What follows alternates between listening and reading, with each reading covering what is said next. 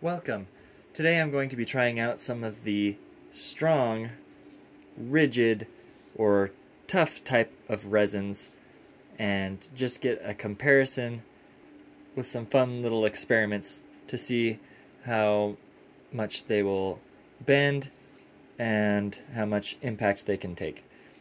So the resins that I'm going to be trying is this Funcrecol High Precision resin.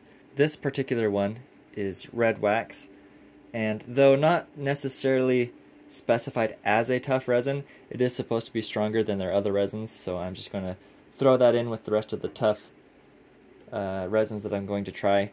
This is going to be Tech's. This is a custom mixture. It's not just straight tenacious. It's their about 80% ABS-like fast with about 20% of the tenacious. That's what I typically use for my miniatures. So that gives it a little bit more strength and flexibility. They do now have a a tough version that is essentially a mixture like this already mixed for you. So you don't have to mix your own. This is the Anycubic UV Tough Resin. It's clear. I actually forgot that I had this.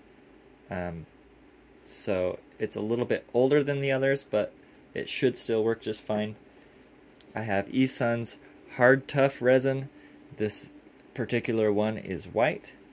And then I have Monocure's new Tensile in the gray. And this stuff is supposed to be super rigid, super tough, and of the lot is the most expensive.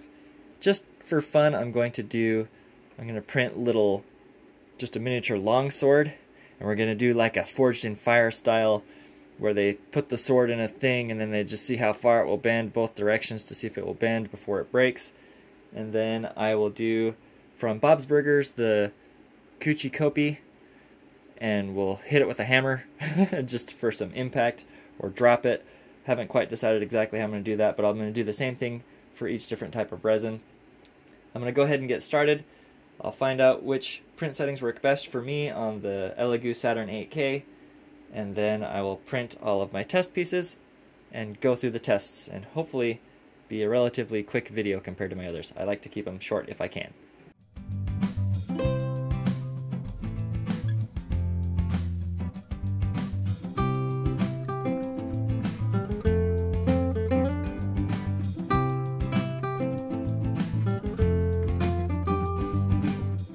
Now that we have all of our prints done, we're ready to do some testing.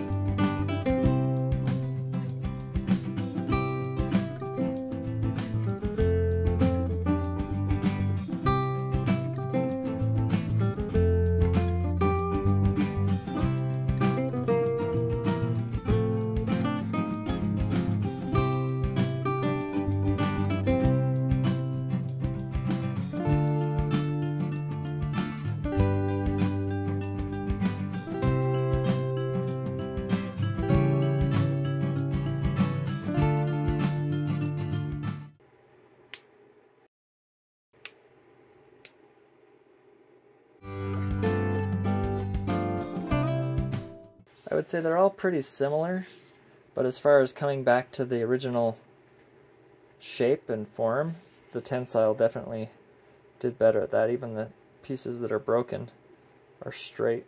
Okay, now for the impact test. This isn't going to be extremely scientific because I don't really have a good way of delivering a consistent amount of force to each model. I've got a small hammer and I'm just going to let the weight of it be the force when it falls on him.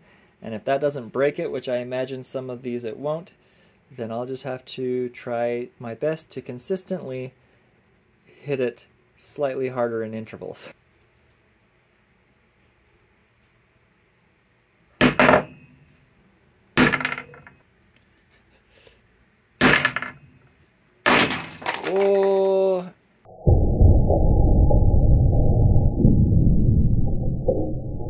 Still significantly stronger than I expected that to be for not being a tough resin.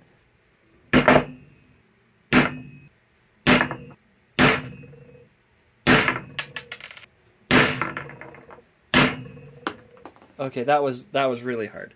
I don't feel comfortable hitting it much harder than that. Everything on my table is shaking.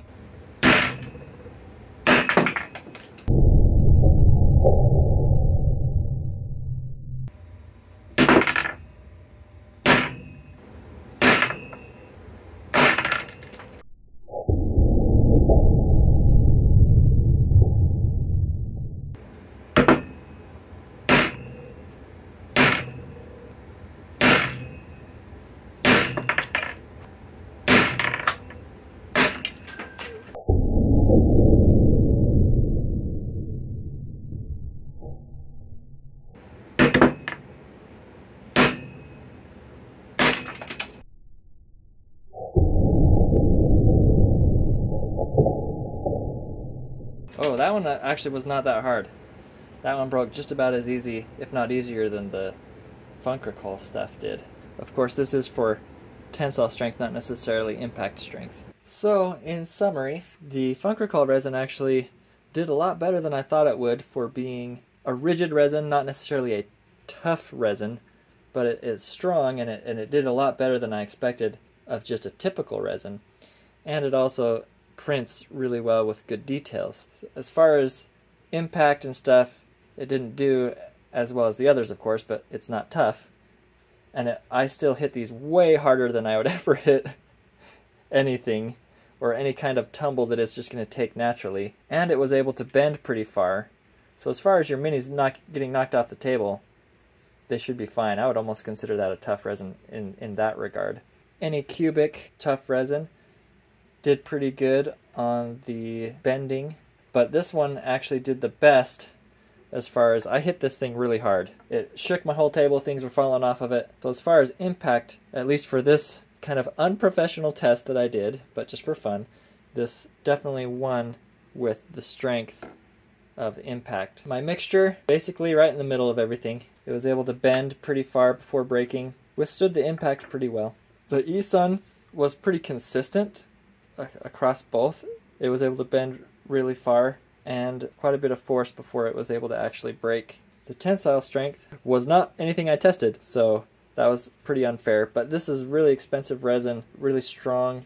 It was able to bend really well. It, it was it was the best for keeping its form and its shape after being bent back and forth, and it would go back to being true. It did not take very much impact to break it, but it's meant more for like a pulling strength. And I didn't do any pulling tests. I'm not usually pulling or shearing on my minis. They're usually getting pushed on in a container or something and to bend it maybe or falling off the table. I'll leave some links to these resins if you're wanting to try any of them, see what results you get. You can look up their statistics of how durable they should be with elongation, tensile and impact resistance, things like that. Hopefully this video has been helpful to you if you're wanting to look through different types of tough resin and wanting to use those for your miniatures. And until next time, go print some really tough stuff.